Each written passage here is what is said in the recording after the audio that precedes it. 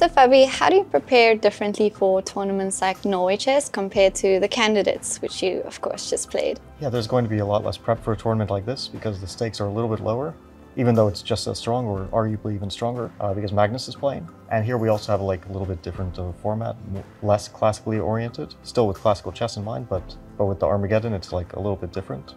And uh, what are the differences in your approach to classical, blitz, rapid, and Armageddon, I suppose? Yeah, I think between like classical and blitz and rapid, there's a huge gap in terms of how you have to approach it. And then between rapid and blitz, it's kind of similar. Like you're playing a little bit more intuitively and you're trying to get positions you're comfortable with. While in classical, you're almost always trying to play the best move. And how do you balance your analytical style with the need for creativity in chess?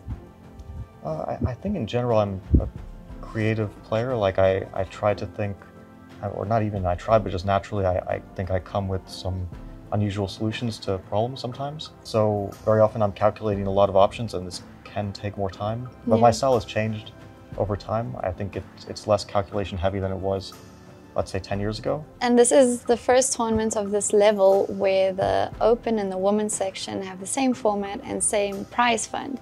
Do you think this will encourage more women to play chess? I think that it's very good for the professional women chess players. I mean, I, I think that it's a very good thing and we see many of the best women in the world playing here.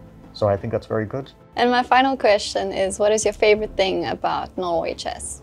Uh, Stavanger is probably my most visited chess city. And yeah, I, I love the nature. Uh, it's a beautiful place. Um, and um, in terms of the chess portion of it, I, it's one of the only tournaments I can think of where they have classical followed by Armageddon.